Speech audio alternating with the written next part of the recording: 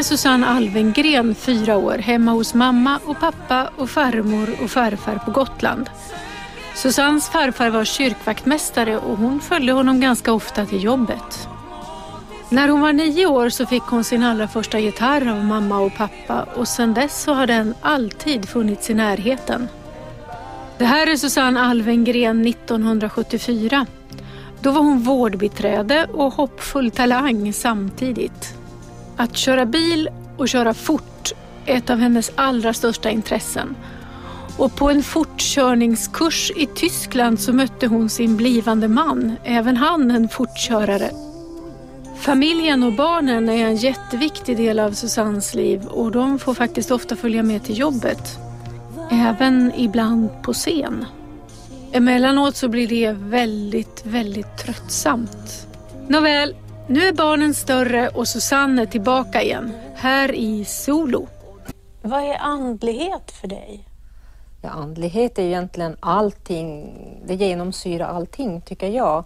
Och sen kan man, att fylla sig med andlighet tycker jag är att fylla sig med ljus. Och sen är det egentligen, egentligen ointressant varifrån det ljuset kommer. För att jag tror att det finns en källa, om vi säger så, en källa. Och från den källan så rinner det olika strömmar och ut i olika religioner om vi säger så. Men någonstans tror jag att källan är densamma. Eh, och, eh, men min privat, min egen andlighet, den grundar sig lite grann i det här. Ja, redan som femåring så var jag oerhört fascinerad av Jesus och hans budskap. Den här rättvisan och medmänskligheten. Jag kommer ihåg den här barmhärtige samariten och sådana eh, ja, de påverkade mig väldigt starkt. Och så, här. och så gick jag ganska mycket i kyrkan tillsammans med min farfar, för han var kyrkovaktmästare. Och jag tyckte ju tidigt om att sjunga och sådär så att jag följde med han då och då på gudstjänsterna och sådär. Men sen så, ja, så konfirmerade jag mig och sen funderade jag väl kanske inte så hemskt mycket på det där ett tag. För att jag eh, ja, jag trodde på Gud och Jesus och så, det, det bekände jag mig, men liksom, det var ingenting som genomsyrde min vardag sådär när jag blev lite äldre. Men sen så, vad ska man säga då, 1988 läste jag den, min första bok av Shirley MacLaine. och då fick jag en, en annan ingång i andligheten och, eh, och eh, när, när jag började läsa om reinkarnation så var det för mig som ett tusen bitars pussel som bara plötsligt föll på plats. Det var liksom, ja, där, där var någonting som, jag, som stämde med mitt innersta. Jag, jag, jag tror att vi föds gång på gång på gång och tar med oss vissa erfarenheter.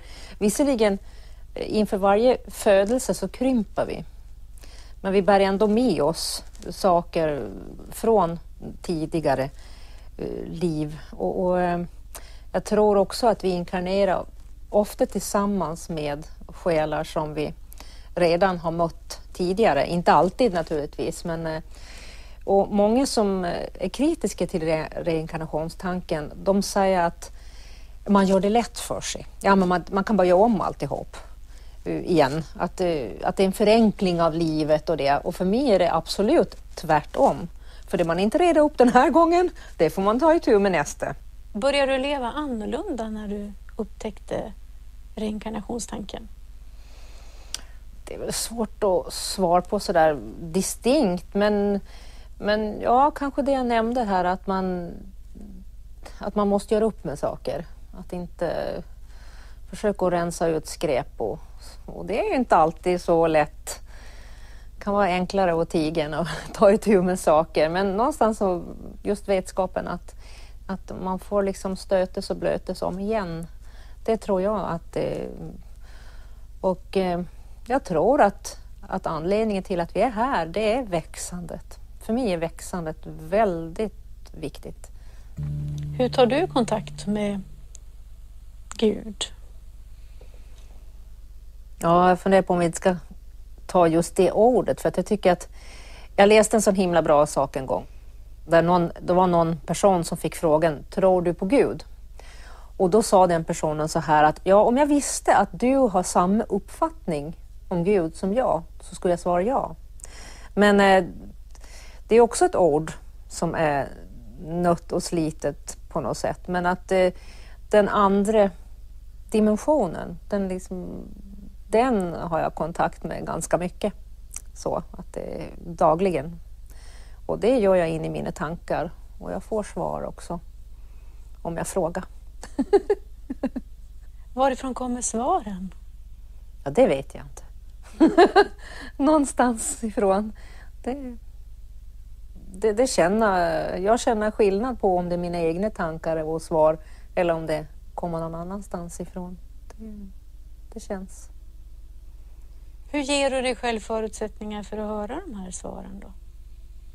Vad behövs? Eh, ja, tystnad, stillhet och mm, jag, eh, jag sätter gärna på lite musik, eh, lite mysig, svävande musik för att eh, eh, dämpa andra störande ljud.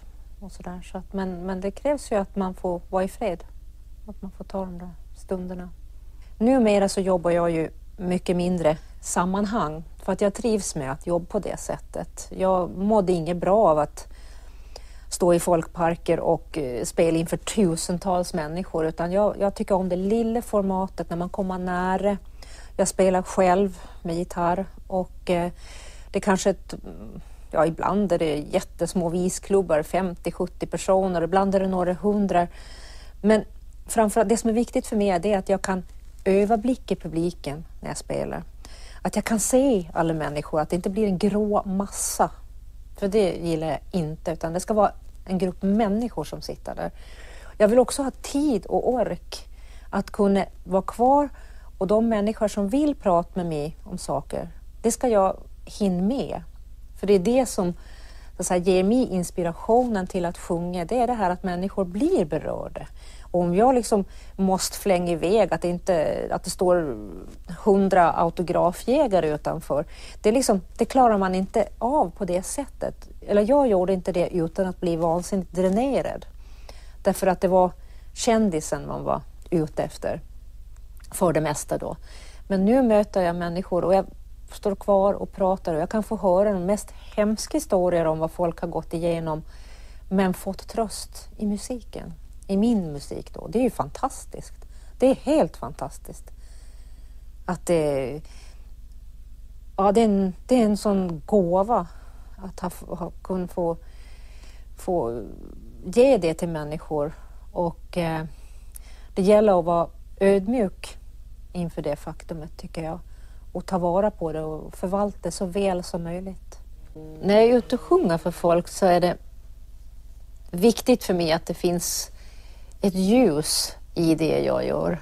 Att, eh, jag vet att många gånger har folk sagt också, eller de som kanske inte har lyssnat så det är hemskt mycket, men de säger åh varför har du så sorgliga sånger och de är vemodiga och sådär.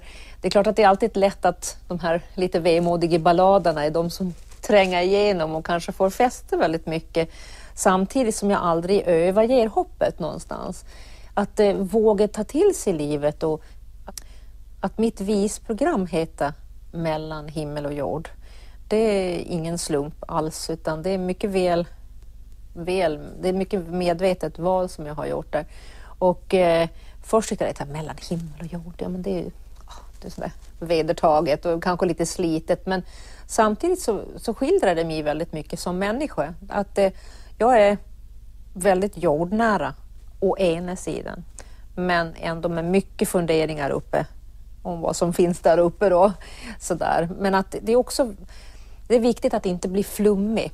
För det är här på jorden som vi lever. Det är här vi har människorna runt omkring oss, våra släktingar och vänner och familj och allt det här. Att vara här och så kan man fylla på sig med kraft där uppifrån och så. Men att sitta fast där nere och ändå kunna sträcka sig upp mot det som finns och ta emot det som finns där.